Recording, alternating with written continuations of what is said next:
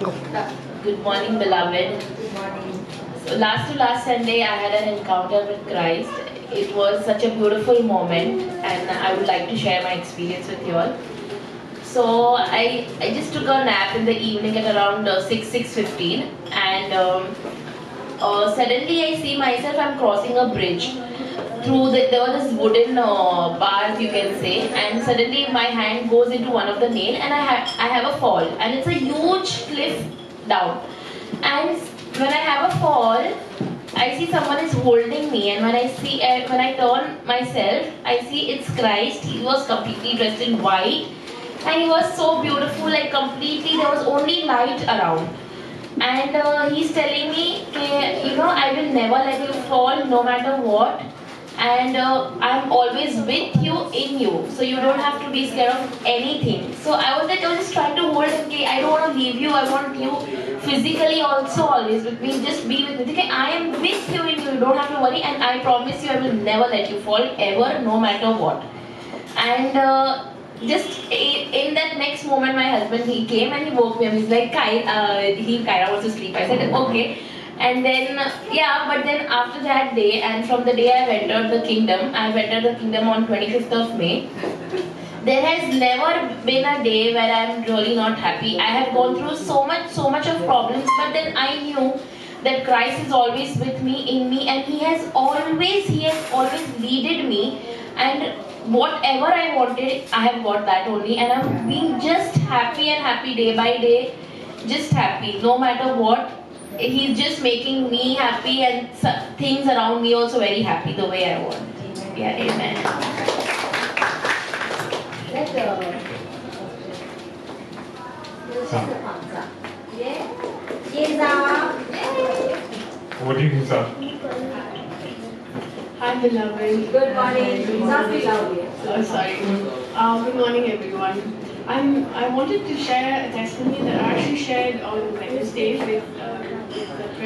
Sorry, I'm. I hope I'm loud No, you're enough. not. Very hard. Okay. So um, it's it's it's.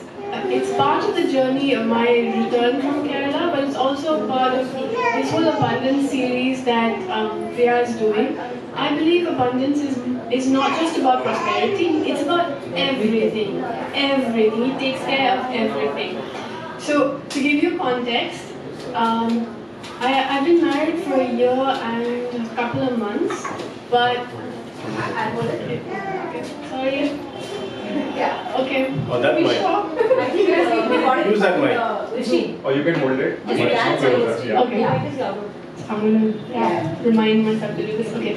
So yeah, to set the context, I've been married for a year and about a couple of months. But I've been dating I was dating my husband for about 14 years.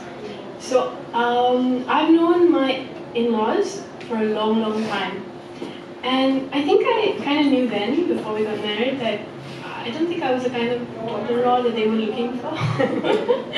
um, but um, but in the last one and a half years since I've been married and since I've been in Beloved, in fact, um, I've just been looking at Jesus and nothing else. I'm looking at His Word and nothing else. And every time I see something, I call Priya. I'm like, you know what God said? Yeah. So this journey to Kerala was. Um, I mean, I shared some of the testimony. It was about um, me not wanting to go because I was worried about this whole pandemic thing. And then I decided that because I'm a son, God's made a way for me. So um, I took the flight and I went. And I can't tell you, I feel like it was a journey I was meant to take. Um, there was so much grace over everything that happened. I felt so blessed. Um, I, you know, before I got married, I, I told God, I was like, God, I don't, I want to, I want to love my mother-in-law. I wanted no separation in my mind about how I treated her versus my mother. And I wanted my mother-in-law to love me. I wanted to be the kind of daughter-in-law that, you know, was loved. And then, you know, when I, I told God this, I actually told my, my future, like, my husband now this, and he was like, that's a big one, and I was like, okay, whatever, but this is what I'd kept. Before I got married, I kept this in my head, in my heart. And this time when I came back from Kerala, I can't tell you, God just worked it out so well, I feel. loved. I feel like she loves me and I love her. There's no separation in my head about her not being my mom. She's equivalent to my mom. And I mean, I saw that in small, small things, but in really big things also in what she did for me. Like, normally when you get married, you get jewelry when you enter the family. When I got married, that didn't happen. But this time when I came back, I got jewelry. I was like, you know, oh my gosh, validation.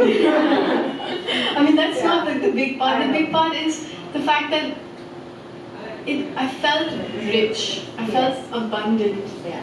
So when I was coming back of, in the flight, I was, you know, normally when I take a flight nowadays, I always tell God thank you that it's like going to be a super smooth flight, no turbulence, nothing, you know. I took the flight and I was telling myself the verses from the Bible. Um, uh, I was telling myself, you know, those who are receiving the abundance of grace and the free gift of righteousness will reign and thrive in the one Christ Jesus. Not telling me all the verses that, you know, God has put in my heart. And then suddenly a verse pops up. It was, um, um, He rejoices over you with singing. And I was like, okay, cool. Then again, He rejoices over you with singing. And I was like, okay then. And I was like, I knew the verse, but I didn't know from where. But as I was focusing on the verse, I I saw I saw um, I saw heaven, and I saw it. I saw it being a city full of rejoicing, Yeah. like as though the whole kingdom of heaven was rejoicing over the Son. Yeah. I mean, I didn't see the king, but I knew that the king and the kingdom was one, Yeah. and he was rejoicing over the sons of God. Yes. And I think this is over every son. Yes. Anyway, I just wanted to praise God for everything that He's doing. Wow. Yeah, such amazing testimonies. So all this is happening in life, just hearing the word and knowing your identity as a son and living by the word, believing in the word. So anyone else would like to share? Yes, Yesha. You're welcome here on the floor. Yay, Yesha. Woof woof.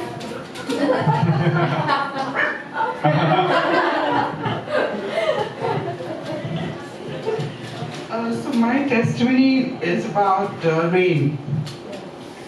Uh, this friend of mine who's like a son to me, he's in Delhi now, so he uh, wanted, uh, he was saying, you're so lucky. I was making him feel very horrible and jealous. I said, it's a cool, lovely drizzle and the soft breeze, etc. It's so cool. Yeah, I wish you were here.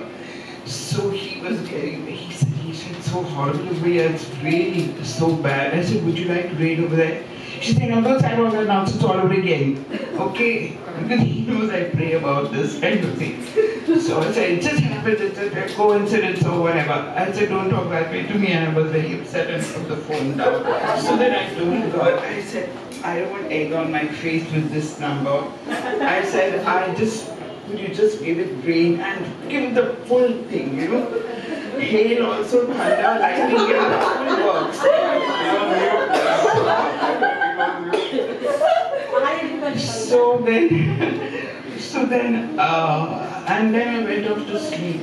And uh, this morning, I remembered about it. I said, I wonder if it rained last night. And I was telling God, I said, I know I'm very extravagant about asking you to change weather. I'll try to minimize it. so I checked out this morning in the news, you know, Googled it and said, was there rain in Delhi last night? Full works were there. I don't, I don't know if hail was there or something, but thunder, lightning storm was there. That's what Google said. Thanks. And the other thing is, Priya had sent a message about, uh, you know, at worship time uh, during uh, uh, Wednesday evening, this girl saw, uh, was, you all were praying in tongues, and then suddenly uh, she, she saw this, uh, you know, God saying united, uh, you know, united prayer.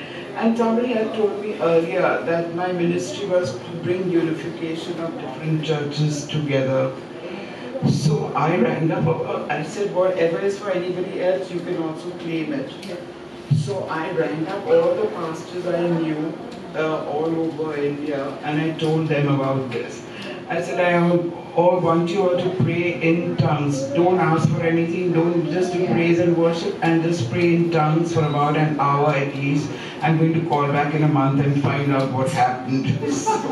I don't think they were terrorized, but I wish they were. So, so uh, and they were all um, acquiescent about it, so that was maybe really nice. Nobody questioned, you know, like why should we pray in tongues, etc. I said no regular prayer, just pray in tongues and see what happens. I would like to say- Yes, Fatima. Yeah. Ye Fatima. Good afternoon, church. Good morning. good morning slash good afternoon.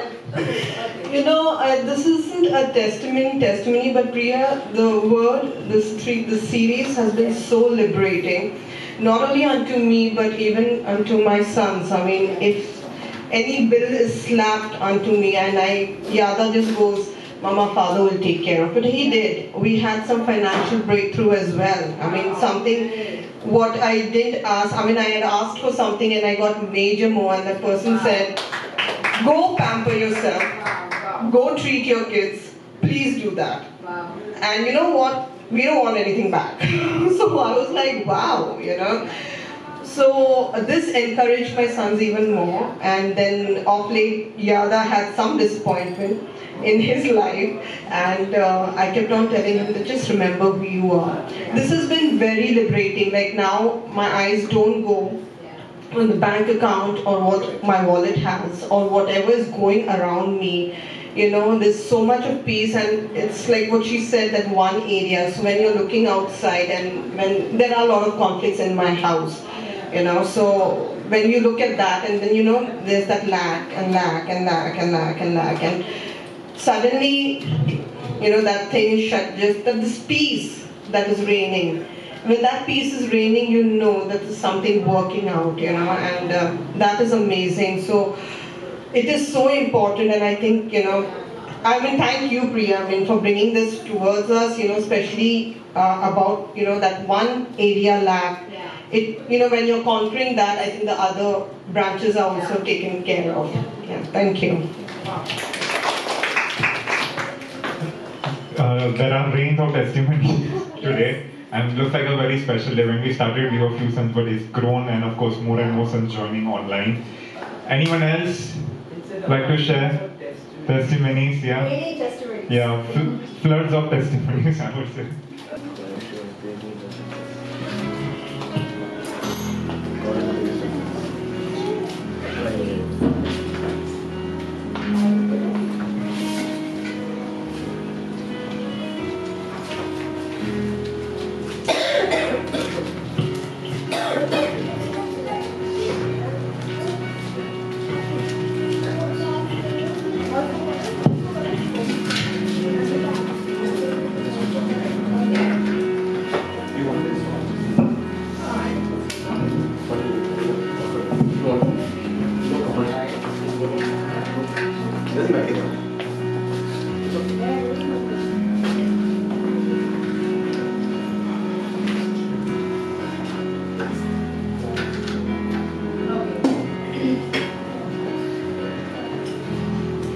Morning, beloved. Uh, guys, you can come in front.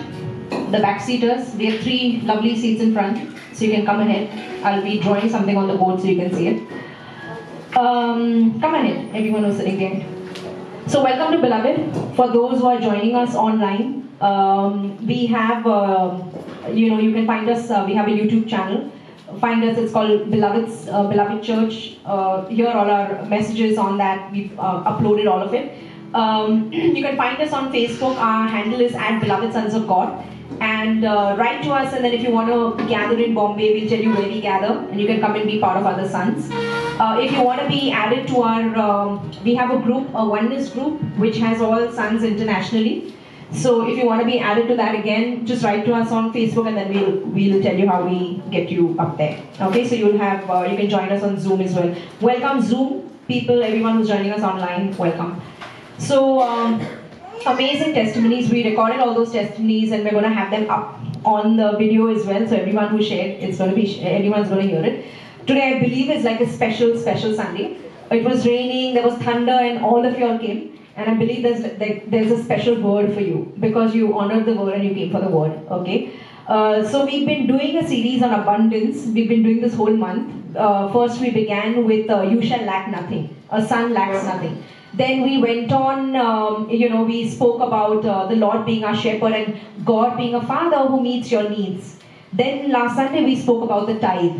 Okay, and uh, this Sunday I'm going to share about even as all the testimonies came and Zah brought it forth very beautifully. Okay, when Jesus said, I have come that you may have life and have it more abundantly, I know that I covered predominantly about money and finances, but God wants to bring abundance in every area of our lives. That's why Jesus said that I have come that you might have life and have life life more abundantly, not just money more abundantly, but life more abundantly. And so, in what areas are you going to have life more abundantly? In relationships, in finances, even in your health, and even being a blessing around you. Because as a son, I am a life giving spirit. Okay? And so today I'm going to share about, in general, about I have come that you might have life and have it more abundantly. So, what is the identity of a son first? Say, I am abundance. I am abundance. Just say it. I am abundance. I am not lack, but I am abundance. First, it believes with the I am, the truth. And then, even as you start seeing the truth of who you are, you'll realize how in every area abundant. Okay, and I'm just to have a, a slight recap. Like I love the, I wish it was recorded, but Ratna shared something. Okay, and uh, all of it, whatever we've shared today, uh, you know, it's very specific with the word that I'm taking, and so I'm to bring it out here and there. Um, so, um, okay, let, us just start with the word, and then I'm to bring what Ratna shared. Okay. Um, so for the audience sitting here, you have the screen, and we're just going to go down. You can have a look at it, or you can open the the word file in your uh, WhatsApp. Also, for our online audience, I'm putting a link below this video. So you click on it, it's going to open up to a PDF file with all the scripture verses. Okay. So John 10:10. 10. Now I've taken this through all the Sundays and I'm taking it again. Why do I take the word again and again and again? So you're getting rooted in it. Okay, so you're riding the horse. The horse is not getting you, pushing you down, but you're riding it and now you're becoming one with it. Okay, this truth. The thief does not come except to steal, kill, and destroy. Anything that happened in your life where you were stolen from, where you had some sort of lack come to you, or some sort of death, right? All type of death. It, it's not physical death. Sometimes it's just death in relationships. Any type of death, like accidents or sickness, or you lost something, everything comes because of sin. And sin, because of sin, sin leads to death. But Jesus came on the cross and went for your sins and died for your sins. So now you can expect to have life and life more abundance. That's why in Romans it says, those who receive the abundance of grace, and what does it say? The gift of righteousness that means God has taken all your sins away, like Geetu just shared in communion. Communion, when you're communing, it is knowing that Jesus became me on the cross that I might become Him. Okay, and so those who receive the abundance of grace and the gift of righteousness that you're a son now by blood will reign in life. That means in all areas you'll start reigning like the horse, and you start reigning in those areas. Okay, and so every, anything that came was not from God, anything negative. And that's why I want you to know, because sometimes they attribute it to God, or even the lawyers, sometimes in documents is written acts of God. They're not acts of God. In this world, the devil is also present. But so is your father. Now you become a son of God. So let's attribute what the devil does to the devil and not to the father. Okay? But did God do something? Yeah. He gave up his son for you so that you, when you receive him, might receive all things freely. And even as you're waking up to you're a son of his blood, all this abundance is coming into your life. And you start reigning in life. Just like Zah shared about reigning, what is it about mother in law? But it's a desire, right? But God wants abundance even in relationships. So she gets married and she's been ma- uh, she's been married for a year, but she's probably known the mother-in-law for a long time, and she's wanted love, and this mother-in-law doesn't doesn't like her for whatever reason, or maybe she wanted her son to get married to somebody else, but whatever, this is a son now. And even as Zah comes to beloved and she's just hearing righteousness that she's the son of his blood. And what is happening? That that life is going in, and now the mother-in-law starts responding differently to Zah. Do you know why? It's because she's not seeing Zah. Now she thinks she might be seeing Zah, but she's responding to the son in her. And I told you, every relationship, whether mother in law, daughter, father, son, be it two friends, it will come down to father and son. And when you are speaking, now they are hearing the father's words, and that lost son is responding to the father's words. And so they're taking comfort in you is because they're taking comfort in the father. Because you, your words are spirit in their life. Are you seeing it? And so even as you're waking up to who you are, all of these things start shifting, and you're like, what is it that now she's different with me. She's got all these gifts for her, she's celebrating her in her life, and she's receiving and she's reciprocating back to the Son. Are you understanding? And I told you, like, here the sermon on um, the solution to all your problems is you. It's on YouTube. Because I address this. We think that we need to pray for the mother in law. We think we need to pray for the, the son. And we think these are outward things. But as a son, you don't pray horizontally. You don't solve your problems horizontally. You solve them vertically by not forgetting who you are. And even as you take on the position, I'm a son. It's not in my nature. I am abundance. And now you have started seeing yourself as a son. I told you a second atmosphere that you give out. And then everything is it's it's responding to the son in you. These, these are supernatural things. I'm telling you, that's why I say hear them, apply the truth, just start waking up, and you will come back and tell me how these things are happening. I cannot explain them to a carnal mind. I can only make you experience it. Okay, this is sonship, it's alive. And so look at this, okay?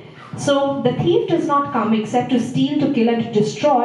I have come, Jesus, that you might have life and have it more abundantly. And I told you that word abundance means above and beyond anything that you expected. That means a life that is uncommon. People will look at your life and say, in every area, including relationships, finances, including your health, you are uncommon. The whole world is falling sick with COVID. But Priya, you walk with COVID, you're laying hands on COVID people. How do you not fall sick? Because you're holy. If anything touches holiness, it will die. That's why in the tabernacle in the Old Testament, you know, nothing could come inside the Ark of the Covenant, where the Holy of Holies was. Because anything that came in, it just died. Anything untoward, anything unclean that comes in, it dies. Why? Because anything that touches holiness, anything sin nature, that has the nature of sin, sickness, anything that touches holiness, it will die. That's why the leper came to Jesus and he's holy, right? And what happens? The leprosy dies and he gets healed. So you influence the others wherever you are. I've told you I've been to crusades in up north. While there was COVID, I've, there were, when the lockdown wasn't there at the time when I was traveling, we laid hands on people who had COVID and COVID is left. A son doesn't fear. You ride that horse. You don't forget who you are. That's it. And everything submits to the son in you. Okay? Now look at this. Huh? So he has come to give you a life that is uncommon. Now look at this. 3 John 1 2. Beloved, I pray that you prosper in some things. What? I didn't hear you.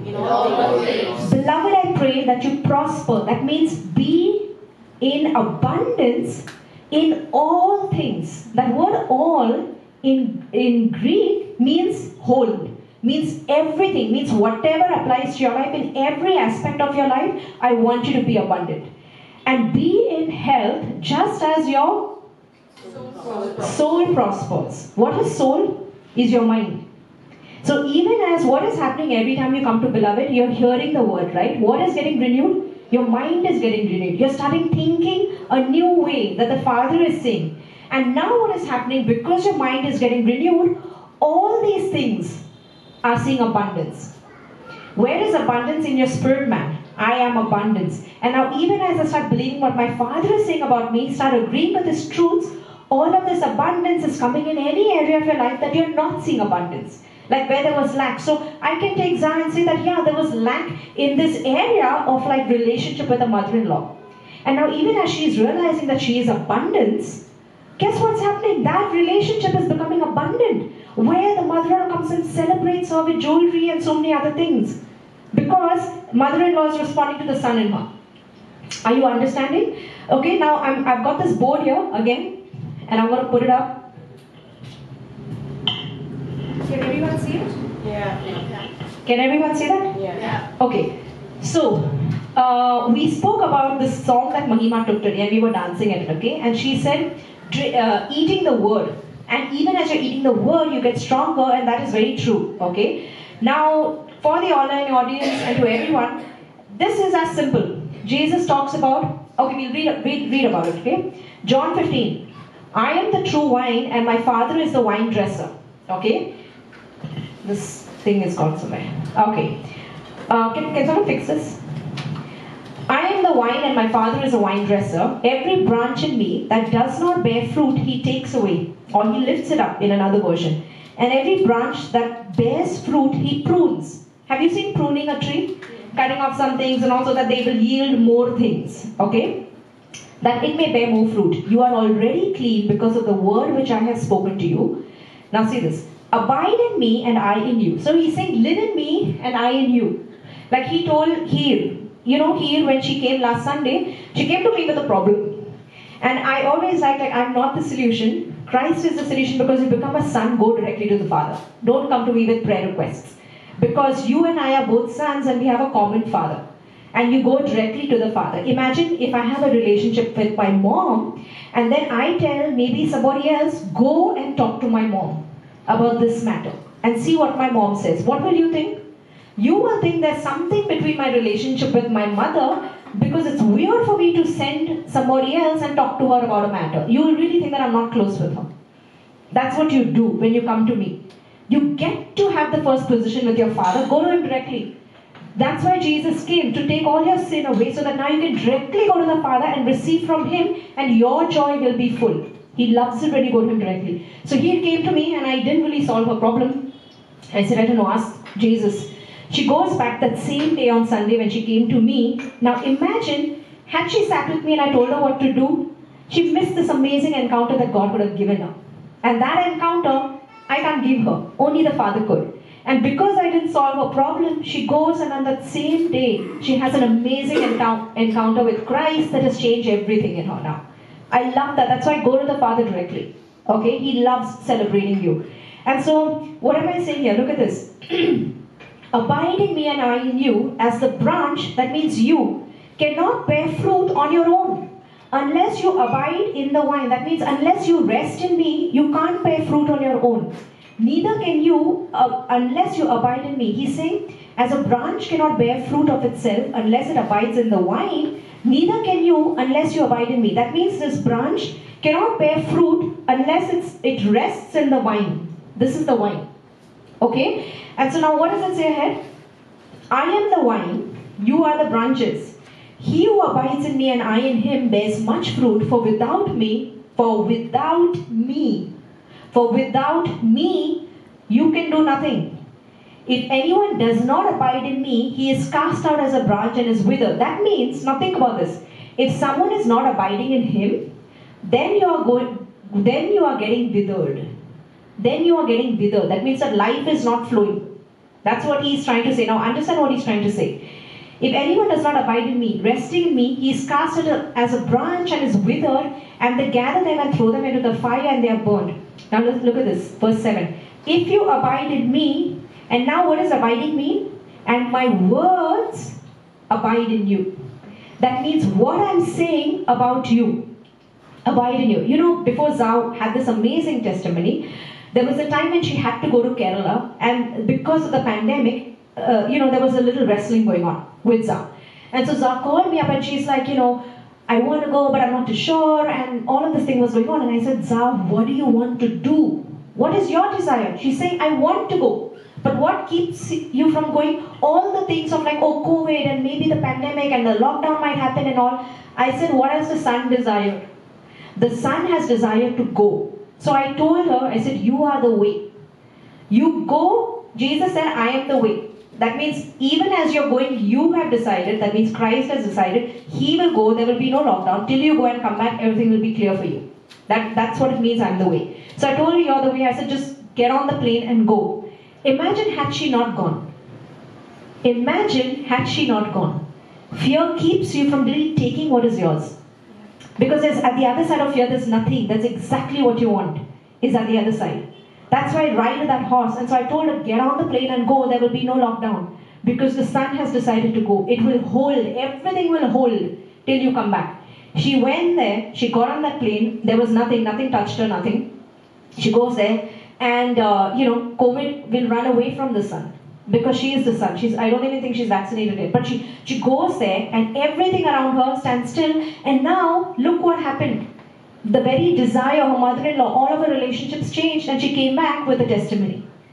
Now what happened? She let the words abide in her. And that's when she saw fruit. But if she didn't let those words, the words are with her, but when the application time came, no. And that's what happens with some of you all. You know, you know, after I preached yesterday's last week's work tithe, I went through like this big this storm. And everything was shaking. And I'm telling you, I don't have a testimony without a trial. Because in the trial, it's application time. And then I have to stand and apply that word and walk that word because I'm speaking that word. God doesn't see you, you know, he, he sees you by what you do. A lot of times I come to know by what people are doing, what they really believe. It's because what he speaks, what he does is one thing. They're not two different things. If I say I'm the way, then I am the way. When I had even to go to Shimla and this, I was I was doing ministry up north. There was that whole the the looming thing, uh, you know, question mark that there might be a lockdown there, and you're going to Punjab. Are you sure? And I just decided I want to go. I will go. By the time I went, I went there for I think a good 20 days, 25 days. I came back, there was nothing. After I came back, they went to lockdown literally like three days after I came back. You are the way. If I go, if I have decided, then this is what Christ has decided in me. And then everything will hold still to you. I did the same thing with Dubai. I went to Dubai, I came back, there was nothing. Because you are the way. I love this testimony because I saw it right from the conception of it. Like right from the, the wrestle of not going to Kerala and then pushing her, come on now, you go to Kerala. And she's stepping on that plane in faith, taking on that word. Standing, now she's taking that word and standing and see what happened. All of creation and all of the kingdom bore witness to who she is. You need to be bold about who you are and stand, and all of kingdom and creation bears witness. That's the noise. Can you mute that? Some, uh, can you mute it? No, it's unmuted by somebody. Okay, okay, now let's look at this. So, what is Jesus talking about? Letting my words abide in you. Okay, and then it says, If you let my words abide in you, you will ask what you desire, and it shall be done for you. By this my Father is glorified that you bear much fruit, so that you will be my disciples. Now, look at this. I'm, I'm reading these few truths. I've taken these scriptures because they talk about Jesus being very serious about his word. Like he really thinks, I told you in the last sermon, I said, how do you, you want to show that you love God? Like, you know, you say, I love Jesus, I love Jesus. But for Jesus, it means when you start believing my words and walking my words out, that's you loving me back. That's reciprocating that love. Okay? So you can say, I love Jesus, but he's more like, are you standing on what I'm saying you're standing? Do you know that when Zan took that word and stood out and stepped out on it, now she's reciprocating that love. Now they're in like this relationship, and now he's bearing witness to everything about her, about the son. That's how it works. Now look at this. It says in Matthew 6, the lamp of the body, the lamp of the body is the eye. Point out your eyes, these are your eyes, okay? The lamp of the body is the eye. If therefore your eye is good, your whole body is full of light. So this word good in Greek means single, not double minded. That means imagine your eyes, make one eye look to the left and one eye look to the right. Can you do that? What will happen if you make one eye look to the left and one eye look to the right? You go to the doctor when you have two eyeballs facing. What is he going to give you? He's going to give you some chashma or do some surgery and get the focus to one. So this word says the lamp of the body, that means this body, the lamp, ujala is me'aega, that means you'll see all health, divine, abundance, everything in the physical realm. The lamp of the body is the eye, my eye. So if my eye is good, if my eye is single, not double-minded about who I am, single, that means one thought, not two thoughts. You're a son today, you step out, you're human. Single, single-minded about who you are. If the eye is single, your whole body is full of light. But if your eye is bad, double minded, your whole body will be full of darkness. If therefore the light that is in you is darkness, how great is that darkness? All of these things that he's saying, this is what it means. Was the red pen fixed? The red pen is not fixed. Okay. Just imagine, this is the light. The minute you got born again, it says your spirit became one spirit with him. Okay? And how do you get that life? How do you get all of these promises in Christ? Like divine health, whatever she was saying, everything to get get working for you in the physical realm. Where you're saying you're getting all these testimonies, and yes, this is yes and amen. This is the soul. The between the wine, the branch, the branch, and the wine, the stem. And even as you're agreeing with what God is saying, you're becoming single minded about who you are. All of this life that is in your spirit, all of these promises are flowing in here and bearing fruit. So I see people, they don't renew their mind, they don't start agreeing when the application time comes for the word. They hear the word, but when the application time comes, pick up the phone and call me. Pray, pray for me. You miss it. This is the time when you're going to see that victory. Yeah. What if I just prayed with Za? She, I, I, I gave her the opportunity, push her, come on now, you're a son. Just nudge, yeah, go ahead. Everything is telling you you're not. Who's telling you you're not? The COVID is telling you, the pandemic? No, you're a son, walk it. It will not close down. Just because you've decided to go. And all, ask her. All I asked her was, what do you want to do? She said, I want to go. I said, then go. Because you are the way. And she comes back with this amazing testimony. That time comes you to apply. That's the time you don't pick up the phone and say, pray for me. You miss it, and then you're still here, the light doesn't flow. And then you're not bearing fruit, and you're constantly in this pray for me, pray for me circle. You take the word, you abide in the word. That means let his words now become, you start agreeing with that word, you become single minded about who you are. The eye is single, and it says what? The whole body is full of life. That means all of this life, you're, you're having testimonies here. Like, oh, my, I was praying for my mother in law relationship, mother in law got fixed now. Now my mother in law loves me. This is how you get it. This is how you get it. You take the word, you let the word abide in you. It comes, you are going to get a problem, right? Of application time. That's the time you don't run. Last week was turbulent. Have you been in a plane that's turbulent? Yeah. And you're just trying to hold, right? And it was like the dream, that's why I put it up. I always put up things that I'm only going through. Okay? And it was like this unruly horse. And I had to ride that horse and bring all my thoughts into dominion captive. So it's like a horse that is unruly, it's just going crazy, and you're riding, you're falling off. Then you start all over again, you dust yourself off, you get all mud. Get up again on that horse because if you don't learn to take it down, you're just going to be in circles and circles, and this problem will never be solved for you. You have to ride it. And what happens when you tame that horse? Now you're riding that horse, and now that horse is serving you. That's how even you make money as slave. I told you what is tithing. Start tithing because it's your relationship with Him. I was not doing it. I told you I was living by my needs. I had all my needs met. But tithing is when you're taking a 10% of your money. Someone asked me, is it net gross?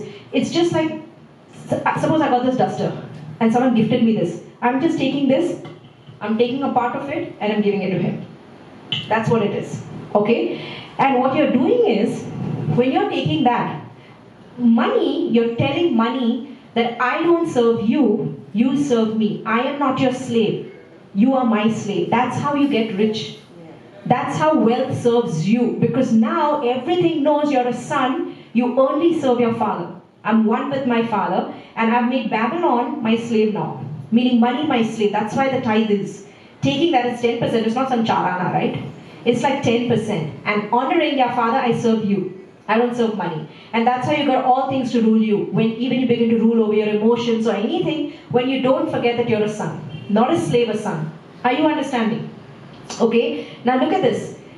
Look at Matthew 7. So we just saw that he's talking about the I being single. That means you're not being double minded about who you are, you're being single. That means you have one thought, not two. Taking that one thought, and even as you're taking that one thought, all of the life is flowing into the into your body. That means I'm a son of his blood. It's not in my nature to fall sick. Now everything says you are sick, you're sick. No, it's not in my nature to fall sick. You're taking that thought, it's the life that is in you. You're becoming single minded about what your father is saying, not what your circumstances are saying. And now you start seeing that resurrection life go and repel, or whatever lies were there, it repels all of that sickness out.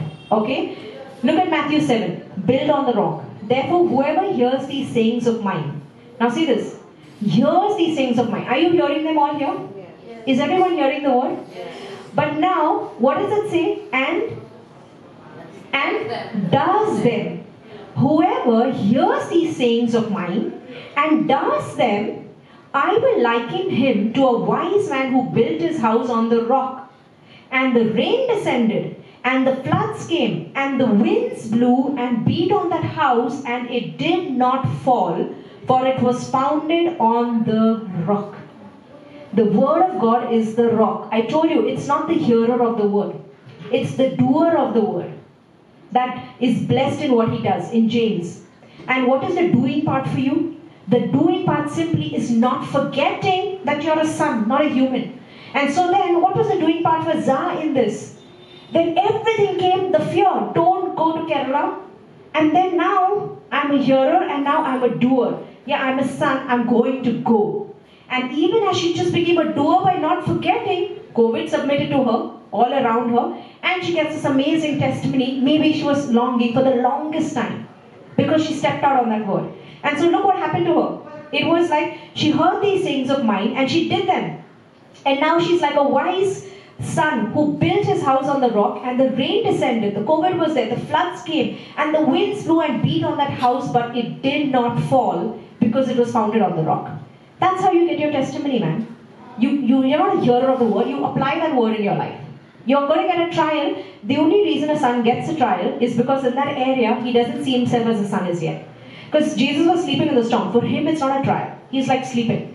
But maybe there are other disciples who have not yet learned to sleep in the storm. And so for them, it is a trial, so they go and wake him up. Get up, get up, get up, get up, get up. And he yells at them and says, Where is your faith?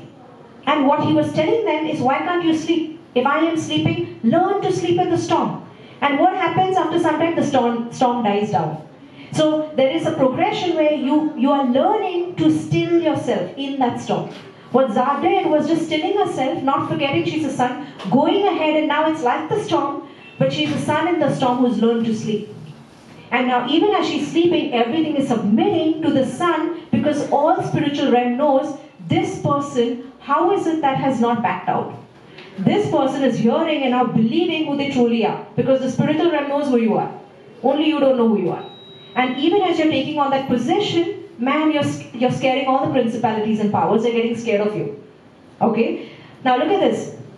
It says, but in verse 26, but everyone who hears these sayings of mine and does not do them will be like a foolish man who built his house on the sand, and the rain descended, the floods came, and the winds blew and beat on that house, and it fell, and great was its fall. That means there's one son who is a doer of the word, and then there's one son who does not do the word.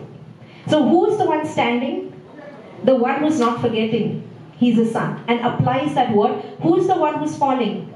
Is the one when the time came to do, backed off. Did not pierce ahead and go ahead. And then that person falls. And that's what he's talking about, which is the branch that is getting withered, is where it's not abiding me. That means they hear about me, they're in me, they're saved, but my words are not in them. And you're not taking on my word and resting in my word. You know, this um, this testimony, okay? So I put on the group, okay, uh, a picture of a horse, right? An unruly horse.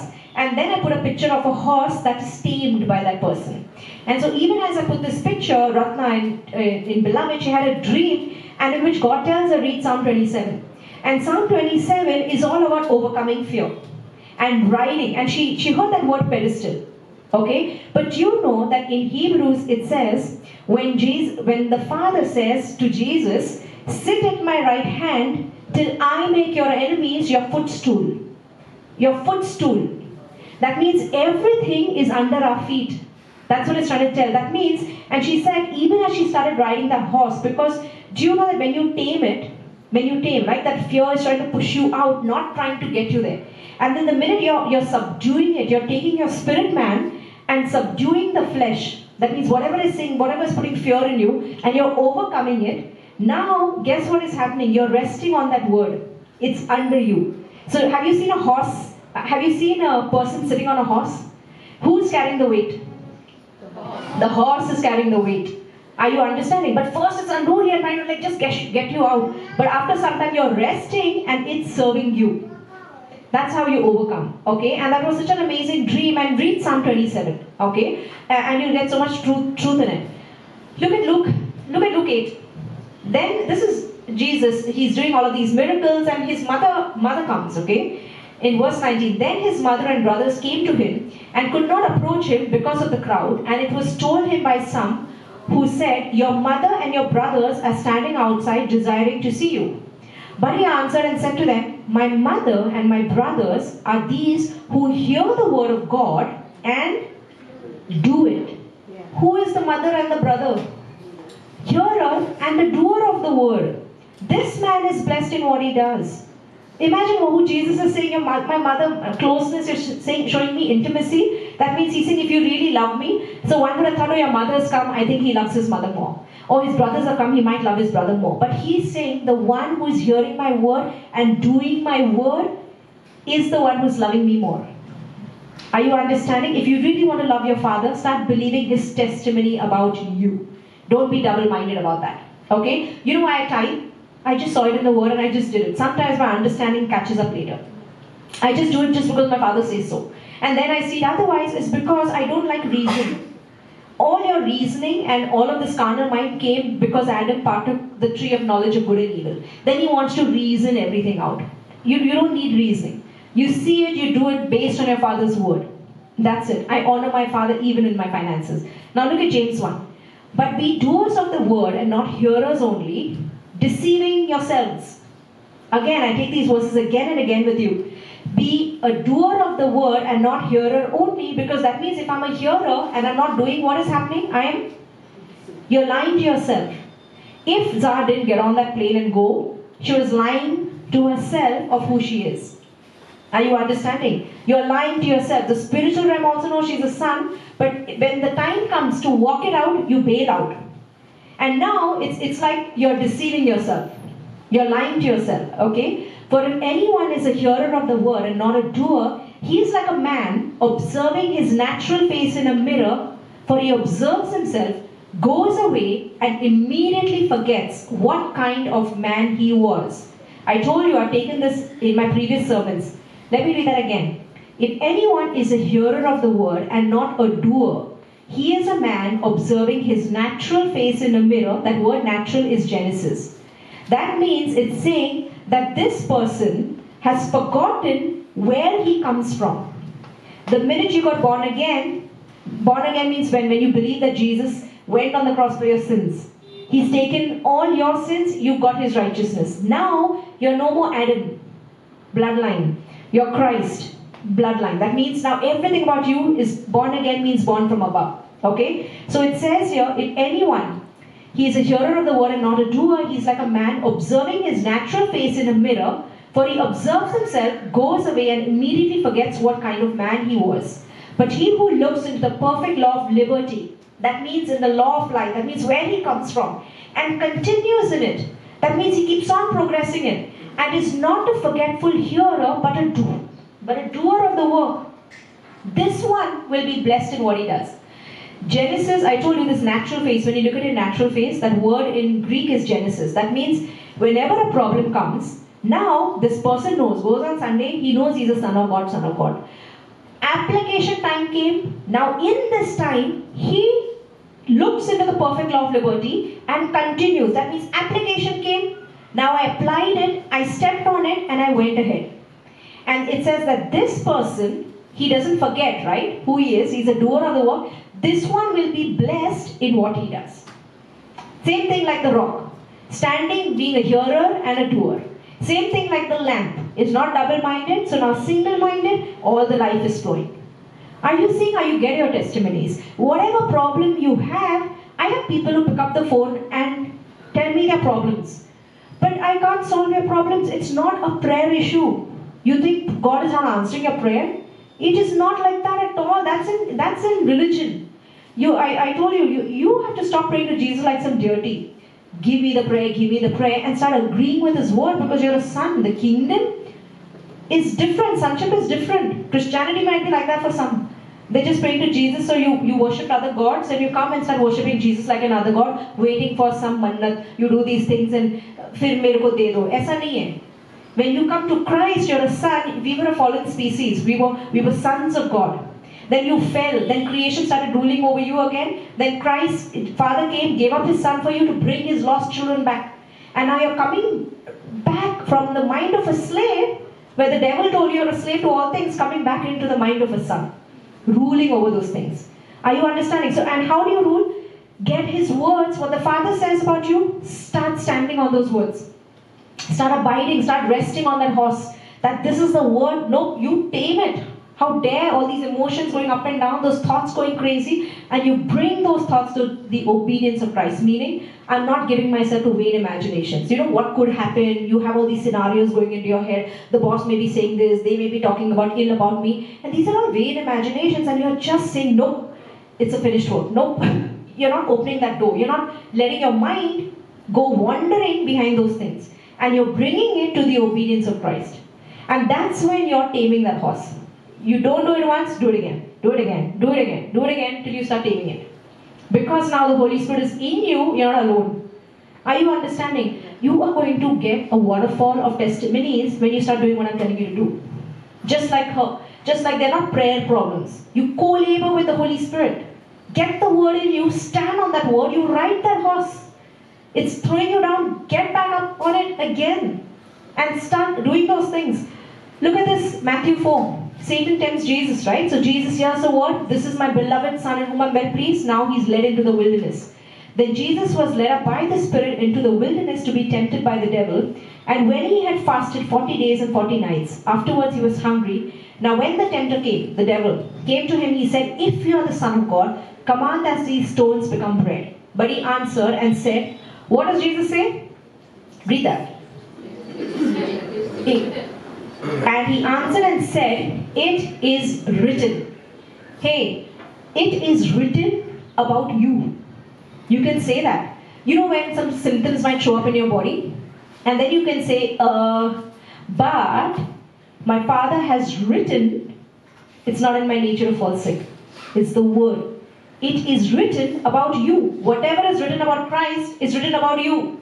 Same thing. It is written about me. It's not in my nature to lack. It is written about me. I shall not lose anything. It is written about me. I am abundance.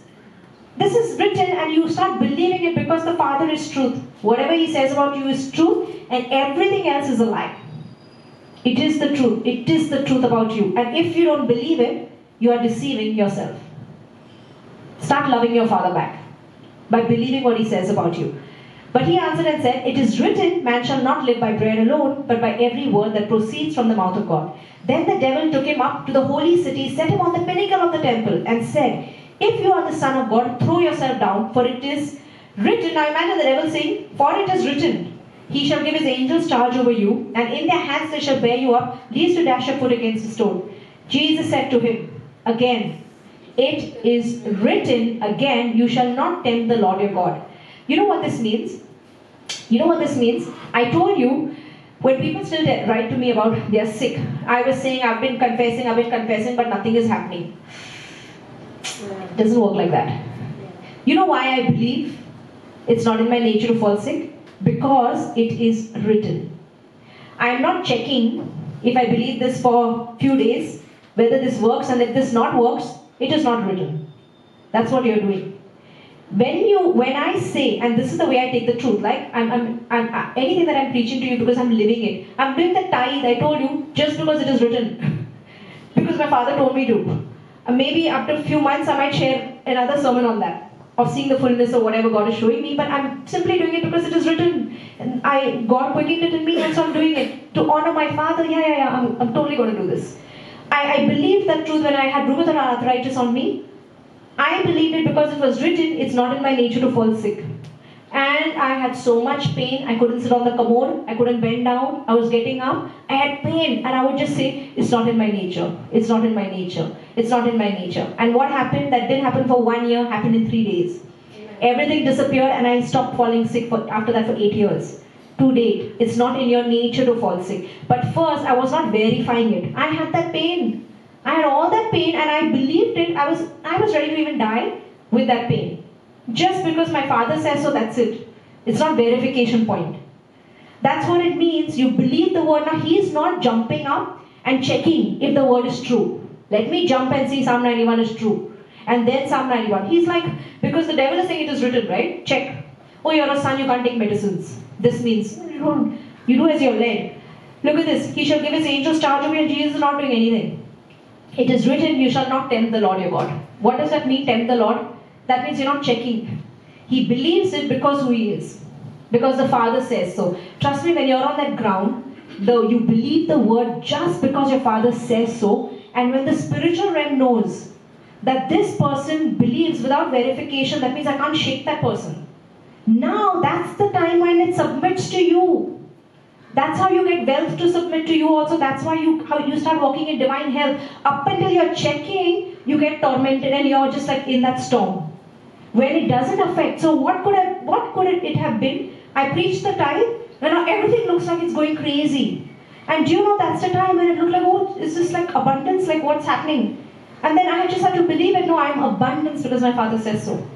That's it. And I will continue no matter what I have.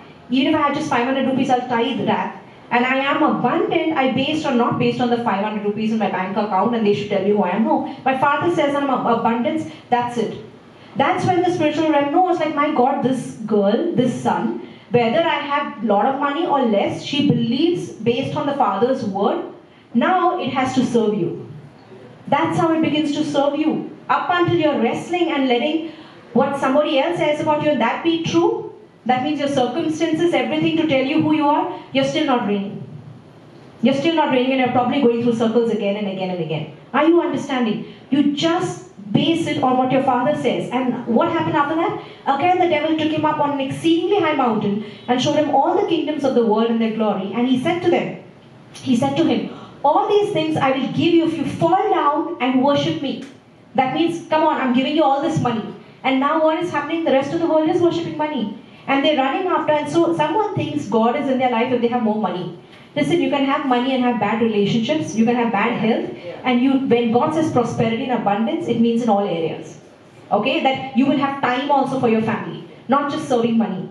And so he the devil is saying come come after me okay? And it's he's saying here look at this.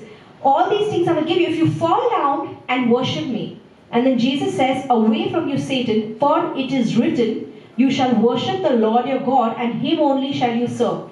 That is the tithe. That is the tithe. And now what happens? Then the devil left him, and behold, angels came and ministered to him. That's how you get something to worship, to worship you. Trust me, after that, what happened? The devil started running, and Jesus started walking. Right? You want money to serve you? That's the tithe just start honoring him. And now things go crazy and all. Don't let it change who you are, that you are abundance first. Regardless of whether I had zero money, I am abundant. I always thought I was rich. Just because sometimes, just like really, I believe that I was rich because based on my father, of who I am. It had nothing to do with what I had and not, but I always saw money get added. And if you want things to serve you, you have to believe what your father says about you, regardless of the situations. Regardless, you take on that word and now it begins to serve you because it is written about you. It is written that death is death has no power over you.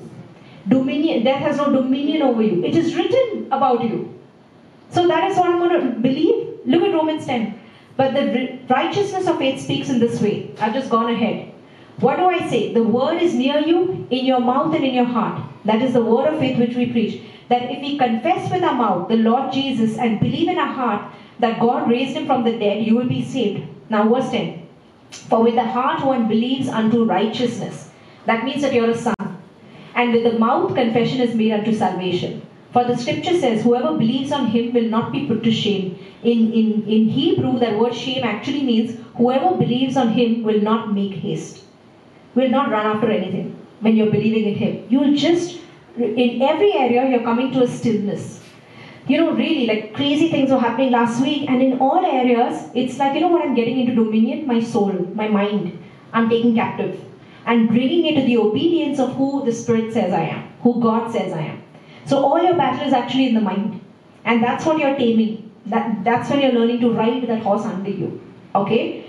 Look at two, uh, look at Romans 11, and do not be conformed to this world, but be transformed. That word transformed also means transfigured in Greek, by the renewing of your mind that you may prove what is that good, acceptable, and perfect will of God. How are you going to get transformed and transfigured? That means you want your body to have supernatural divine health just like your father. Be transformed by the renewing of your mind. That's why you're hearing what part of you got messed up. When Adam sinned, he partook of the tree of knowledge of good and evil. What part of you got messed up? Your soul, your mind. And so now your the Father has brought you back into his kingdom, and now he's like, son, I'm going to reprogram you. Start believing what I say about you, not what this tree has said about you, what I, the tree of life, am saying about you. And that's what you're doing, and all the kingdom bears witness to the truth. So you keep saying, I'm sick, I'm sick, I'm sick. That's not the truth. The kingdom can't bear witness. But when you start agreeing with what the Father is saying about you, apart from anything that you're seeing, all of the kingdom, your body, everything bears witness to that truth. Okay? I've lived this, I've walked this, so I'm telling you, you have to do this. Okay? I'm not just speaking just like that. Last week, this dream that you had, the taming horse, it was just that. So either I could let the horse knock me off and cry about it, or that I was like, I know much, Father, you've revealed too much to me. I already know the truth. I have to co labor with you. And as irritating as it was, and I was just like, oh, these vain imaginations and these thoughts, and I'm just taking it. And every time I would just be like, no, by the blood. I thank you, Father. I'm a son. No, I would just not open that door to all those thoughts. You know, let your mind just wander. And I was just taming that horse. Okay, and then when you ride it, you'll realize everything is such a lie. That everything about your life is what the Father says is true. The covenant promises are true, and everything about your life is sealed by the blood. Okay? Look at this. Look at 2 Corinthians 3. Now, the Spirit of the Lord, now the, the Lord is Spirit, and where the Spirit of the Lord is, there is liberty, freedom. But we all with unveiled face, beholding as in a mirror the glory of the Lord, are being transformed into the same image from glory to glory just by the Spirit of the Lord. So, who is doing that work in you? The Holy Spirit is doing that work in you. You're co laboring with the Holy Spirit, and He's transforming me into my spirit man. That means everything that I am, if God says I can't fall sick, I'm also seeing it in my body, I can't fall sick. I'm seeing it, I'm not just thinking it.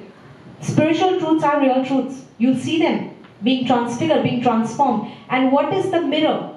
The Word of God is called the mirror. So it's saying, even as I'm beholding myself in a mirror, the glory of the Lord, I'm being transformed into the same image from glory to glory by the Spirit. So when you're taking the word, when you're seeing who you are, then you go to a situation, now you don't forget who you are. Then you apply that word and stand because at some point there will be a doing. Doing bit. Like for Zah, it was really getting on that plane and going. And when you are doing, now you're hearing, now you're speaking, now you're doing, everything is one about you, and everything is bearing witness to the truth of who she is. That's how the kingdom works. That's how you get a testimony. That's how you get divine help. That's how you get finances. That's how you have blessed relationships. Okay? Look at Galatians 4. Now I say, now big truth here. Hear this. Now I say that the heir, that means the one who inherits all things, right? Like Prince William's son will inherit everything, he'll be an heir one day. Now I say that an heir, as long as he is a child, does not differ at all from a slave. That means God is saying a child, a baby, and a slave is the same thing. A child and a slave is the same thing. Okay. Now let me let me make this truth more clear. Let me read in Hebrews. Okay. I haven't put that verse there, but I'm just going to read in Hebrews something to you. This is in Hebrews. It talks about someone who is spiritually immature. Okay. And she took this in a song, but I want to I want to get some more truth. Okay, in this. For through, for through by, by, sorry, for though by this time you ought to be teachers, you need someone to teach you again the first principles of the oracles of God, and you have come to need milk and not solid food. Now, verse 13, I'm reading Hebrews chapter 5, verse 13. Now, see this. For everyone who partakes only of milk is unskilled in the word of righteousness, for he is a babe. But solid food belongs to those who are of full age, that is, those who by reason of use, that means applying the word, have their senses exercised to discern both good and evil. Do you know what this means? Someone who is unskilled in the word of righteousness is a babe. That means you do not know that your righteousness is by blood.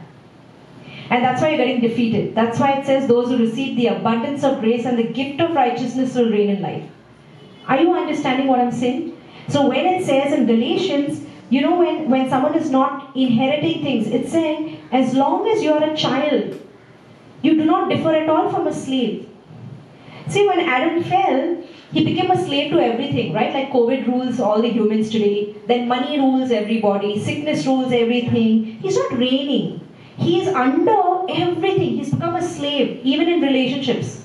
You're a slave. And then what is happening? God is taking you out from slave Like how the children of Israel came out of Egypt from slavery into the promised land, into the mind of a son. And what is the promised land? All these things are done for you. You will have houses, and I put things that you what you wanted, and someone else has gone and done all those things. And so he's bringing you back to the mind of a son, my dear, you have all things. You are abundant. Your father is very abundant, and so are you. Are you understanding? And in every area, you're coming from the mind of a slave to the mind of a son. And fear makes you a slave. So whatever things you fear, it just makes you a slave to it. It's basically saying that whatever that situation is, is saying I'm greater than you. Like for Zah getting on the plane, I am greater than you, you can't come. COVID is here, pandemic might be here, you might get infected, and all of these lies. And then Zah is riding that horse and saying, No, but I'm a son, I am the way. You are under me. You are my pedestal. You're my footstool because you're under me. And even as she's going, everything is under her because she doesn't forget who she is. It comes application time. And so now, from a child, you're no longer a slave, but a son. And then it says, if a son, then an heir. How does she inherit that? Because she came into the position of a son. When she was confronted with something, she didn't run away. When she came as a son, a son inherits all things, not a slave. That's why either you go around the mountain again and again, or you go confront your fears. Because they're all underneath you. Okay? See this. As long as he's a child, does not differ at all from a slave. I'm just going a few verses down. And then the word says, God has redeemed us. Verse 6 And because you are sons, God has sent forth the Spirit of His Son into your hearts, crying out, Abba, Father. Therefore, you are no longer a slave, but a son. And if a son, then an heir of God through Christ. In every area, whatever you're overcome by, basically you become a victim to. In, you could be worrying about something, you could be worrying about finances, a relationship, everything, but every, anything that has got you the bowed or like pushed is it's basically coming on and giving you the identity of a victim. Like I am greater than you. And that's the time you don't forget, you don't get intimidated. Whether it's any symptoms or anything, you don't get intimidated, you push it back and say, No, I'm a son. It's not in my nature. And then you rule over it. And that's why it says, Therefore, you're no longer a slave, but a son. And if a son, you're not forgetting you're a son, you are an heir of God through Christ. That means you'll inherit all the promises and everything that He's saying about you, you will see it. That's how I did it for my mom when my mom got that cancer report. Now everything came like cancer in mom. Worry about it, start running about it, start sending prayer requests, start having a prayer chain. And in that time, now either I could be a slave and let this big thing tell me who I am, and just like this large thing, or I can subdue it like this horse and say, Excuse me, but I'm a son, and because she belongs to me, nothing can touch her. Psalm 91. Nothing can touch. And because I didn't forget, now guess what I'm doing? I am taking that unruly horse down and I'm riding it, and then the next report that we did says negative for cancer. You take these things just by not forgetting, and when the application time comes, don't go ahead and apply that word. Stand on that word and it will come under you. Okay? Sons are hearers and doers of the word. If you're a hearer, hearer, you'll get frustrated. You will get frustrated because you know so much, but you never applied it because in the time when the trial came, you picked up the phone, call, pray with me. No, no, this is an emergency situation. All the testimonies are emergency situations only. That's how you get it. So in that time, don't forget. If you want to see that, imagine cancer time, I didn't call mom. Nobody. You think that's emergency situation? Of course it is. And in that time, had I not, oh, I just stood ground, no, nothing. You get it down now. I'm not as composed. At that time, I had all crazy things. I was still, you know, I was crying, this, that, but I just had like, no. You know, and I just, I said, no, mom, this is, I don't care. I'm just doing this test again. This is a lie. I'm a son. Okay? And nothing can touch the beloveds, everything that belongs to the beloved. Okay? And then it bowed down. You tame the horse. Okay? I, I, I've taken thoughts down. Okay? I'm telling you how to reign in life. If you want divine health, don't call me. Start agreeing with the word, start applying that word. Forget if there's symptoms of cancer in your body. The best thing to do right now is don't look at the cancer, look at the cold maybe. Look at the headache that pops up. And then take the headache down. No, it's not in my nature to have a headache, it's not my nature to fall sick. Start taking the headache down, and you'll wonder how you took the headache down. And then suddenly, this cancer, you go back, and the doctor says, Oh, this thing is shrinking, it's disappearing, the scan report is not showing anything. It works like that. It works in small things. Don't just keep focusing on the bigger things. Okay? Look at this. Look at Galatians 6. Let him who is taught the word share in all things with him who teaches. Do not be deceived, God is not mocked. For whatever a man sows, that he will also reap. For he who sows to the flesh will of the flesh reap corruption, but he who sows to the Spirit will of the Spirit reap everlasting life. He who sows to the flesh will reap corruption. That means will reap death. He who sows to the Spirit will reap everlasting life. What does this mean? In every area, you can either sow to the flesh. Flesh means anything that you are seeing by your senses, right? So now, with my mom's report, it could have been if I sowed to the flesh. Oh, the report is saying this, it could be malignant, all of these things, rheumatoid arthritis in my body. And now, if I start sowing to the flesh, means if I start running after my flesh, I will reap death. But it says he who sows to the spirit. So when all the senses are telling me one thing, her report is saying something, everything, and then I'm sowing to the spirit. That means what my father is saying about me. I'm letting his words abide in me just because.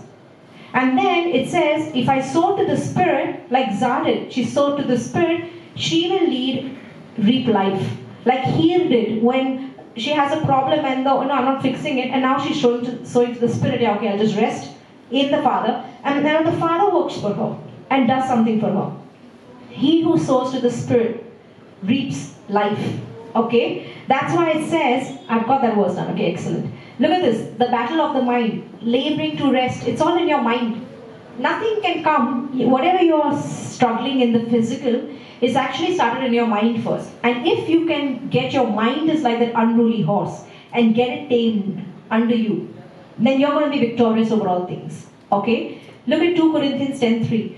For though we walk in the flesh, we do not war according to the flesh. For the weapons of our warfare are not carnal. That means it's not something that you can understand with a reasoning mind or anything like that, but mighty in God for pulling down strongholds, casting down arguments and every high thing that exalts itself against the knowledge of God, bringing every thought captive bringing every thought into captivity to the obedience of Christ and being ready to punish all disobedience when your obedience is fulfilled. How many of you are actually doing this in your personal lives? I've told you, start putting down your thoughts. No one is doing it. No hands up? Hands up. Some hands up. Start doing this because I tell you why. I want you to see how true the Father is about you. It is true. Okay? Now, what I've taken this verse again and I'm pushing it again. Take it down. Look at all of these meanings, what it means in Greek. For though we walk in the flesh, that means you go out, everything is in the flesh. You go, you meet some clients, all of this is all flesh, right? But we do not war according to the flesh. That means some problem comes, you're not attacking it by picking up the phone and calling up your client and yelling at him. You don't solve it like that. God is saying, you don't forget who you are. That means not by mudslinging also, throwing some dirt, talking bad things, doing some dodgy things. God is saying, don't fight like this. Fight the way I'm telling you to. And what does he say? For the weapons of our warfare are not carnal, but mighty in God for pulling down. That means demolishing strongholds. You know what a stronghold is? It's a lie. It began with a lie, and you fed it, fed it, fed it. It became this big lie in your head that I have always been sick. My whole family has always been sick. That person had diabetes. I will have diabetes. My children will have diabetes. Everything is diabetes. And it's like a stronghold in your head that you've had. I've always been poor. I've always done businesses, but they've always failed. And these are strongholds, and then God is saying, pull down, demolish these strongholds by the word of God. So you've seen a demolition, right? Going for a building. It is like this one hammer of truth, and it's saying, pull down strongholds by the word. That means I don't care how many years you've been sick, the word says you are a new creation, you're born from above, he took all your sicknesses away, so there is no right for that sickness to be in you. You're a son, it's not in your nature. Now, every day, if you're taking your tablets every day, do it with the tablets. Start saying this truth about who you are. Okay? It's saying casting down arguments. What does it mean? Calculated arguments, thoughts, reasonings, vain imaginations. I can tend to do this sometimes, and I'm learning, taming that horse. You know when nothing has happened, but you just keep imagining things that this could happen and this could happen and this just like and this one said this and these all these vain imagines and uh, imaginations and scenarios that have not not even happened but you're just like thinking contemplating what if and it's saying here casting down arguments that means there are arguments that are going on in your head or why I couldn't get this job. Maybe someone else was better. Maybe I didn't put all of these things in my CV. Maybe I shouldn't have said this to my boss. And it's saying, God is saying, I don't need your reasoning. Casting down all of these arguments, every high thing, every presumption that exalts itself against the knowledge of God. Now, see this bringing every thought. That word thought actually in Greek means bringing your mind, bringing your feelings, bringing anything that has got to do with your emotions, everything. It's saying bringing your mind captive to the obedience, to the submission of what God has said. That means to the word of what God has said. Before I got healed of rheumatoid arthritis, I told you, I was always healed, right? I'm a son, it's not in my nature. But when it left me, because I was watching a program, it left me, three days later, everything came back. A thought came to my head that said, You lost your healing. It was a thought that came. And you know what I did? I caught that thought and I said, No, I'm a son, it's not in my nature to fall sick. I was never trying to get healed, it's not in my nature, and everything left. I pulled down a thought and brought it to the obedience of who I am. That's what it means. It begins with here. Just start taking your thoughts captive in small things. You know, when you see your mind wandering, I've been doing this. I've been religiously doing this. Like food. Doing this, whenever I see my mind wander, I just get it back. Then again it one wanders and again I'm getting it back. Then it'll go wander, again I get it back. And I've been doing this, doing this, and now I'm realizing it's not that tough. Because first time you're trying that horse, it looks like you fall off mud. Oh, this seems so difficult, so difficult. And then it gets easier, easier. Now it's under you, and now your mind is not wandering. It is in complete dominion of the spirit man in you. That's what sonship is. You're bringing everything into dominion, even your flesh. If a hot girl walks, are you checking her out? Now it's one thing to appreciate beauty, but if you're like checking her out, you know, and that comes from the Adamic and then you're bringing, taking that mind captive and bringing it to the obedience. No, this is not in my nature. I'm a son of God. It's not in my nature. Okay? Now look at this. and being ready to punish, avenge all disobedience when your obedience is fulfilled. That means you are in absolute dominion of your mind. Say that. I am in absolute dominion of my mind, of my soul.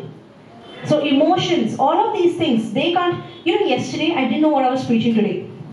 Like really, I had everything, and I knew that I had to take abundance one more time, as all over abundance. Do you know when I got the word? This morning in my sleep. And as I was getting up, I started getting things, and I started penning it down. I started just penning it down, penning it down, penning it down, and everything just came to me. But now, when I went to sleep, I was like, oh, my emotions, and you know what I said? I, I'm telling you the truth. This is what I said. I don't live by my emotions. I live by the word. And then I just thank God. I said, Thank you, Father. I'm a son of your blood. And that's going to be a great word tomorrow. And thank you. And I went to sleep. I didn't, I didn't let my emotions decide who I am. I literally did this. I got up in the morning. My maid had come. She rang the doorbell. And it was 8.30 at night. And I just started penning down things as it started coming to me. Because the Father loves you, He bears witness to the truth of who you are. So I could have said, I'm not feeling good, uh, I don't know. But I didn't allow my emotions to tell me who I am. Otherwise, they rule. I'm a slave to them. Okay? Look at Romans 8. For those who live according to the flesh, now see this flesh means anything your senses, five senses, set their minds on things of the flesh. But those who live according to the Spirit, the things of the Spirit. For to be carnally minded that means someone is going by the report, their five senses, everything. Carnal person is, I see it, then I will believe it. That's what it is. For those, for to be carnally minded is death. It is going to lead to death. You hear the word, you never apply it because you really don't believe it. Okay? But to be spiritually minded, spirit based, is life, but in abundance. Life in abundance and peace. Hey, I'm telling you, the word of God is true. But if you apply it and stand on it, and it's going to give you abundance, life, and peace when you're sowing to the Spirit. Because the carnal mind is enmity against God, for it is not subject to the law of God, nor indeed can be. So then, those who are in the flesh, that means they're going by their five senses, cannot please God. But you are not in the flesh. If all of you are in the kingdom, you're not in the flesh, but in the Spirit. And if in, indeed the Spirit of God dwells in you, if indeed the Spirit of God dwells in you, yes, now, if anyone does not have the Spirit of Christ, he is not his. And if Christ is in you, is Christ in you? Yes. The body is dead because of sin, but the spirit is life because of righteousness. What is the spirit? It's called the spirit of righteousness that is in you. Right with God. Declared innocent. There's no karma anymore for you. You are right with God based on Jesus' blood. Are you understanding? So it's saying if the spirit of the, the spirit of God is in you and it's called the spirit of righteousness, if the spirit who raised Jesus from the dead dwells in you, he who raised Christ from the dead, that is the Father, will also give life to this mortal body through his spirit who dwells in you. That's why I say learn to rest. Learn to rest. Don't forget who you are. You're a son of his blood. You have symptoms in your body now. Sometimes I just go to sleep if I have. Uh, You know, and the spirit of life in me does the job. So I don't worry about it. It's it's very easy for me to take dominion in this area of health because I've done it. And I'm telling you how to do it. The word is true. But you have to come out of your sense realm. Up until you let your senses tell you you're a son or not, you keep getting beat up. That's what the wilderness was for Jesus. But when it is not based on environment, I believe based on it is written, that's when it begins to submit to you. Are you understanding? Apply this word. I'm telling you, you can walk in divine health. You'll be rich. You have a blessed relationships. All of this, sonship is true. But it's a hearer and a doer. In the trial, don't pick up the phone and ask someone to bail you out.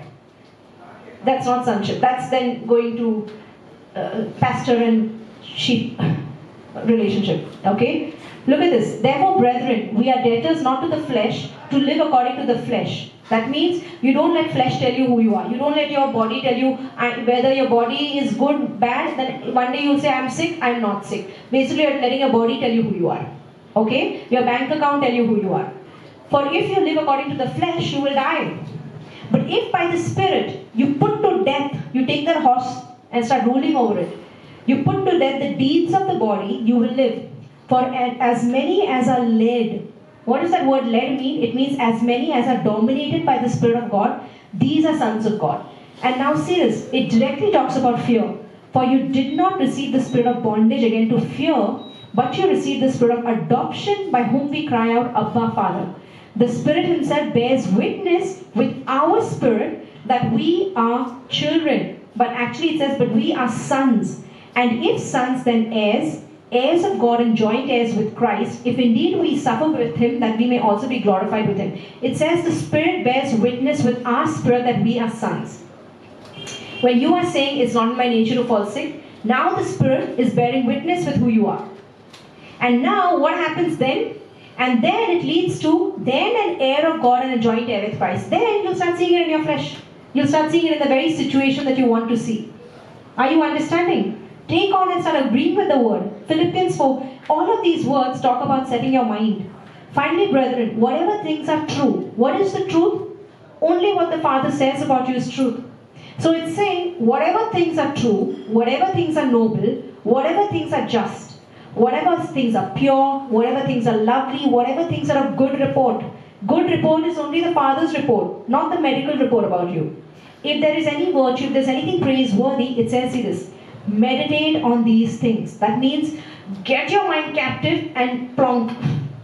Meditate. You let your mind wander about crazy things, you're meditating about those things. Same way you're meditating about those, it's saying bring it to the obedience of Christ. You can meditate about what is true, about His word in you. These things which you which you learned and received and heard and saw in me, these do, and the God of peace will be with you. Colossians 3. If then you were raised with Christ, seek those things which are above where Christ is, sitting at the right hand of God. Now look what it says. Set your mind on things above, not on things of the earth. For you died, and your life is hidden with Christ in God. When Christ, who is our life, appears, then you will also appear with him in glory. Set your mind on things above, not on things of the earth. What does this mean? Jesus said, You are of this world, I am not of this world. So when it says set your mind on things above, meditate on these things that are true, what is God trying to tell you consciously? Consciously, sons, you live in this world, you might live in earth, but you're not of earth, you're from above. And so in all things, don't act like humans, please don't forget where your origin is. And now you step out and you will see things uncommon. Like the way it was with Za, it is uncommon. Okay? And look at these things. Look at this.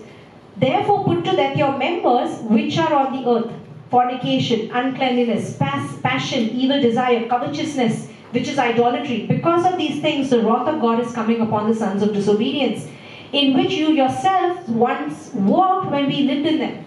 We were there, but now we came out. You're no more a son of disobedience. But now you yourselves are to put all of these anger, wrath, malice, blasphemy, filthy language out of your mouth.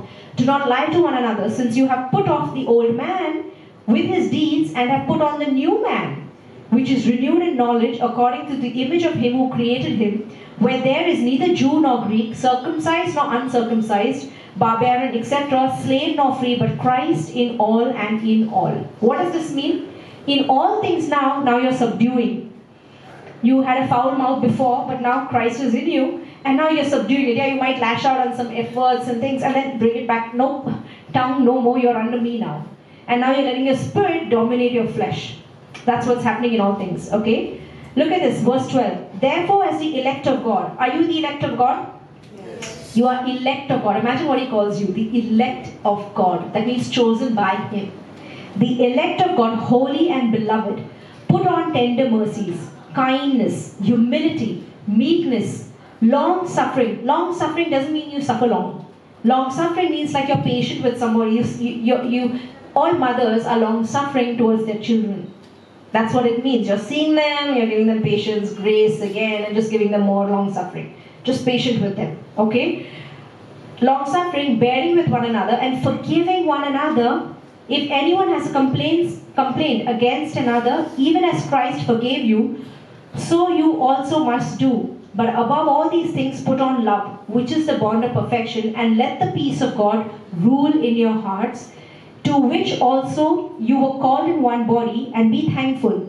Let the word of God dwell in you richly in all wisdom, teaching and admonishing one another in psalms and hymns and spiritual songs, singing with praise in your hearts to the Lord. And whatever you do in word or deed, do all in the name of the Lord Jesus, giving thanks to God the Father through Him. It's saying, let love rule in your hearts.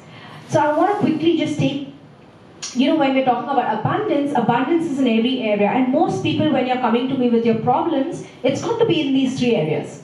It's either in your finances, it's either in your relationships, or it's either in your health. And just look at your life. You've got to, they've got to be in these three areas that you're struggling with right now. Okay? But the answer to everything is first taking on God's word. So for example, I told you in, in finances we, we spoke about we spoke about the tithe.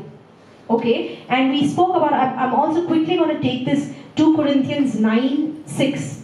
I did cover it last time, okay? I'm just going to read that. But this I say, he who sows sparingly will also reap sparingly, and he who sows bountifully will also reap bountifully. So let each one give as he purposes in his heart, not grudgingly or out of necessity, for God loves a cheerful giver. What does it say? As he purposes, say that with me, as he purposes in his heart. For God is able to make all grace abound towards you, that you, always having all sufficiency in all things, may have an abundance, an abundance for every good work. Now it goes on um, a few verses down. I'm saying, now may he who supplies seed to the sower and bread for food multiply, supply and multiply the seed you have sown and increase the fruits of your righteousness. You know, whenever you give money to anybody, okay, you give money, maybe someone came knocking at your door when you were at a signal and you gave some money. I want you to sow the money with a purpose. With a purpose. Now, what do I mean by purpose? Does a farmer just plant seeds randomly? Or is he very intentional with the seeds that he's planting? I'm a farmer. My, I mean, uh, you know, we come from fa- farming background. So if I want an, a banana tree, we plant banana seeds. And we're very intentional with the seeds we plant, and we are planting it knowing that I'm going to get a banana back. Not an apple, but a banana back. Are you understanding? And so hear this now. It says, when you be a cheerful giver and sow with a purpose. What does it mean? Now I, I want you to see in Isaiah, Isaiah 55, I'm just reading this, verse 10. For as the rain comes down and snow from heaven and do not return there, but water the earth and make it bring forth and bud, that it may give seed to the sower and bread to the eater. Now, see this. So shall my word be that goes from my mouth. It shall not return to me void, but it shall accomplish for what I please, and it shall prosper in the thing for which I sent it. When God speaks about you, He is very purposeful about you. He is not just being random. So when He told the fig tree, I curse you, I curse lack, what happened? Did all the other trees get cursed or only the fig tree? The fig tree and he comes back, right? Because his word was very intentional. And then it says, it, the word is like the seed that is going and it will not return to be void. It will do what it's supposed to do. So next time if someone is knocking and you're giving some money, it could be giving anybody any money, or you're offering something, or you're giving, you're gifting somebody something, and you're sowing in someone's life. Do it with a purpose. oh, this is for, I'm giving this for hmm, a bicycle. Thank you, Father, bicycle. And start doing it with a purpose. You know why? It's to build relationship. So that when that cycle pops up one day, Father, I thank you. Thank you for that seed. Be intentional with your seeds. Now, I'm not just checking, where's the bicycle gone? I'm putting it in faith, yeah, and the bicycle will pop up whenever. But start putting your seeds in with a purpose. Just like the way your word is. And you know why we're doing this? Is because when you are faithful with the money with a purpose, even it is the word with your purpose. Now, when you're speaking, you know that your words are not coming back to you void but they will do what they were sent out to do. Like Yesha comes and shares, she was like, I just don't want the rain, I want, give me all the works. So that this son sitting in Delhi will believe that, yeah, you're a father, you're so real. And so she, she prays, and now there's thunder and lightning, and it's raining in Delhi. Her words are bearing fruit because she sent them out with a purpose, with intention. Okay? So we talked about that, right?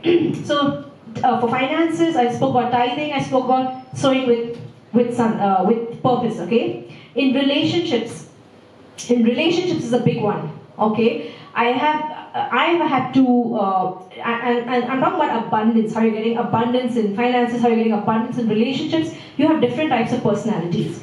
And you have to co-labor. But in relationships what i've noticed is i'm more after the fruit. So what does it say the fruit fruits of the spirit and relations? Okay? Love joy peace long suffering, kindness, giving someone kindness when they don't deserve, goodness, faithfulness, gentleness, self control. Self control, when you really want to give it back to that person, like you know someone messed you up, you can say some bad things about them to win your case, and you choose not to. Trust me, every time you bear a fruit and you're taking on the fruit, uh, you know when a, if a tree has some fruits, when the fruits fall down in near the tree, they actually make the tree grow. They, they help as manure. Okay? Every time you're choosing that fruit and when you're laboring to rest, when you're taking on, you're giving self control, do you know that you will increase? And it gets multiplied back to you. I've seen this. Every time I've given mercy, I've got mercy back. That's why it says, Give and it shall be given. Pressed down, shaken together, running over. But just before it talks about giving mercy, that means mercy is not giving someone bad that they deserve. Grace is giving somebody good that they don't deserve. Okay? And so every time you're doing, cultivating these truths, you're going to see some truth. So with my mom, and uh, for you know relationships, hear the uh, hear the sermon on the Lion King. In relationships, don't people will walk all over you, or that situation will overwhelm you because you've not taken a position as a son. And one of the things I always say is for boldness in relationships that even Paul prays. Paul prays that we may have boldness to open our mouths for the word if you are true to who you are, all of the creation, everything is, is submitting to her. How is it submitting to Zam? She's not praying for her mother-in-law to love her. She is just going ahead with she not forgetting who she is. She's bold enough to open her mouth. Now everything is submitting to her. That's how it works. Be bold, open your mouth, stand for the truth of what you believe. The Father, the kingdom, all of creation will bear witness with you. It works. Start opening your mouth. What does it say for relationships? I want to read one more, okay? How are you going to see abundance in your relationships, right? I want, look at this, what it says. In Matthew chapter 5, verse 43. For you have heard that it was said, Love your neighbor and hate your enemy. Okay? You shall love your neighbor and hate your enemy. But I say to you, love your enemies. Bless those who curse you. Bless those who curse you. Do good to those who hate you and pray for those who spitefully use you and persecute you, that you may be sons of your Father in heaven. For he makes the sun rise on the evil and the good and sends rain on the just and the unjust. For if you love those who love you, what reward have you? Do not even the tax collectors do the same? And if you greet your brother only, what what do you do more than others? Do not even the tax collectors do so? Therefore you shall be perfect, just as your Father in heaven is perfect. What is it saying here? For all your relationship problems? It says, pray for those who spitefully use you and persecute you. Hey, listen, I did this. I did not want to, someone was really messing up with me, okay, and really like being just annoying.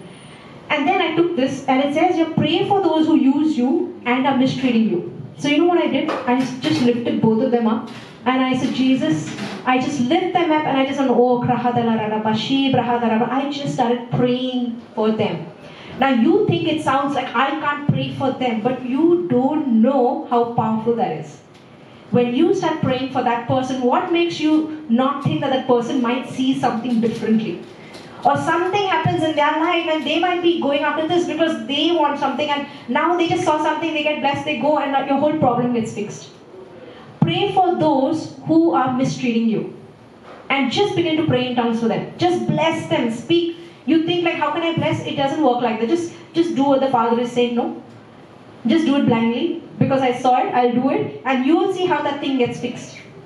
Start doing that. Start praying in tongues, okay? In relationships, this is for. Okay? And pray for boldness. Start opening your mouth. Don't be so scared. They're not going to run away if you talk about Jesus. Open your mouth. Tell them the Father loves you. You are so loved. There's a Heavenly Father who loves you. Stand up for the truth. They're all in the kingdom, my family, because I opened my mouth. And there might be ruffling. And I told you, peace sometimes looks like a storm. But it looked crazy, and I just stood. I opened my mouth. No, this is the fun. So many truths were there that the lie couldn't hold. And it broke. And now, kingdom always bore witness with me when I stood up for the truth. I remember I told you when I was in UK, I met the Prime Minister's wife, everything. I went to 10 Downing Street, and you know, I was a girl then they were not in the kingdom.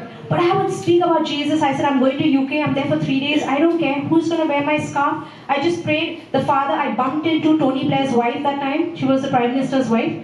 And Cherie Blair, and she calls me to her house. I go to her house, I give her the scarf. There's a photograph of me with her, and I told her about Jesus that time. And I come back to India, and you know, they could all see that there is a kingdom and a father who's with her. The kingdom bears witness to the truth when you open your mouth. Stand up for him, he's standing up for you. Be bold, okay? And what is it about? Um, yes, you know, and in relationships, one of the things that I've seen, don't let those relationships let you lose your peace. Because they come to steal your peace and then you get all turbulent. And that's the time you have to rule that horse, and no matter what fight you had or what chaos that happened, you don't forget who you are, remain in peace. Be at peace with everything. Be at rest. Okay? Speak the truth, it goes turbulent, doesn't matter, then come back on your horse. Don't let it disturb your peace and get you all flustered. Okay? That's how you will see abundance. They will start submitting to you and it will come to still waters. In health, I told you, take down the small cold. Okay? Relationship begins with everyday victories the big yeah you know i've seen this. Like if you take down the small things the big things don't show up in your life. It's because you didn't take down the small things the big things showed up. Okay? If you're constantly in a relationship you don't come to church. I told you if you came just came to beloved for abundance it should show you where your heart is. You come to church you're hearing the word because you're a son and you're growing in your relationship. Day to day day to day and those big problems will never show up. Because every day you're you're engaging with the holy spirit taking down the small things Okay, that is abundance. So he has come to give you life and life more abundance. I drew that other little thing, a picture here, right? I showed a bridge here. So the bridge is like your spirit got saved, all the promises are here, and this is your body or the situation that you want to see something happen. And getting from here to here is like a bridge, and that's your mind. And when you're taking on, you know, like, like the dream that you had, when you're taking on the truths of who God says you are. You're literally bridging this gap. And now you're seeing life in that situation. Okay? A son is a hearer of the word and a doer of the word. The doing part is not about the law, like trying to get right with God. No. It's not forgetting you're a son, staying true, riding that horse. No matter how many times you've fallen off, get back up. Don't go around the mountain again and again. Take the mountain down take it by the word, stand on the word, apply that word. You are going to tell me, I'm telling you, I love to hear these testimonies because I know it's true. I've walked it. It's so simple. But all I had to do in all my trials was me not forget that I'm a son of His blood. And I don't care, there are no testimonies around me. I will be the first one to have it. And that's how I've had it. And that's how you walk it. It is true. Okay? Let's close in prayer today. And uh, say this after me. Okay? We're going to give a tithe of all the increase that you got. Okay? So say this after me. Father, I thank you, I'm a son in your kingdom. Jesus, you are my high priest. And right now, I give you a tithe of all the increase that you brought to my mind, to my soul. And just begin to worship Him. Thank Him for everything that you heard today.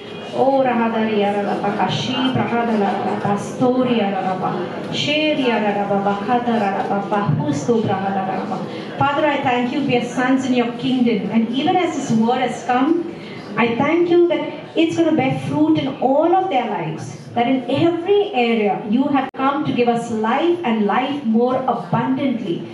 In relationships, in health, in finances, in every area. And I thank you as sons, this is our inheritance. You're bringing us out of a mind of a slave into the mind of a son. A son who is at peace and at rest with what you say about him, that it's all by the blood. All things under my feet. A son fears nothing because everything is under his feet. I thank you, Father. In Jesus' name. Amen. Amen. Uh, join us for refreshments. Don't scoot out. Say hi, hello to others who are here. And if you're new, come